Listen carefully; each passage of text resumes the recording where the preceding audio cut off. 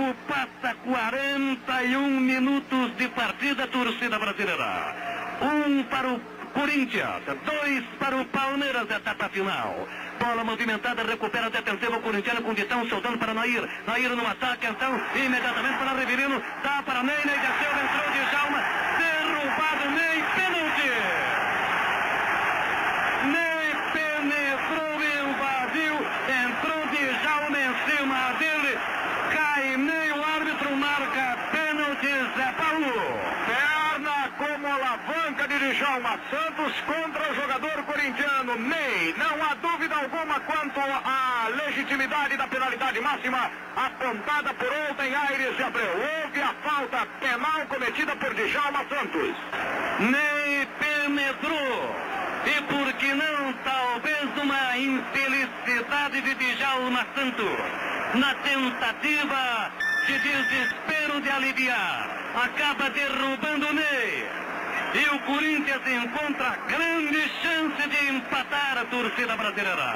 O tempo passa. 42 minutos de partida. Palmeirenses reclamam da decisão de Aires de Abreu, mas prevalece a sua indicação. Bola colocada no terreno e parece que será exatamente Mané Garrincha, o encarregado de movimentar. Pela sua experiência, ninguém mais do que ele para carregar esta imensa responsabilidade. O empate a esta altura seria um grande resultado para a equipe corintiana. Bola no terreno, expectativa tremenda no Pacaembu, torcida brasileira. Dois para o Palmeiras, um para o Corinthians.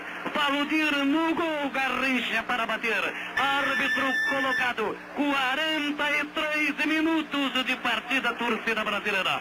Pronto, Garrincha, apita o juiz, correu, Mané, chutou. Segura, Valdir!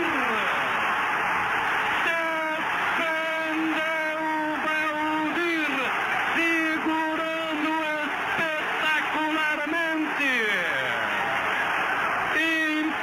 Impressionante Valdir. Defesa monumental, torcida brasileira.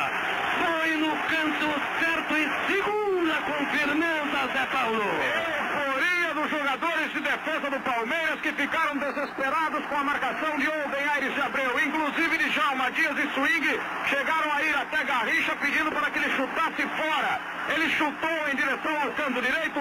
Voou Valdir para fazer a mais linda defesa da sua vida, Fiore. Consagra-se Valdir, torcida brasileira. Segurando espetacularmente no canto direito da Cidadela Alviverde. O tempo...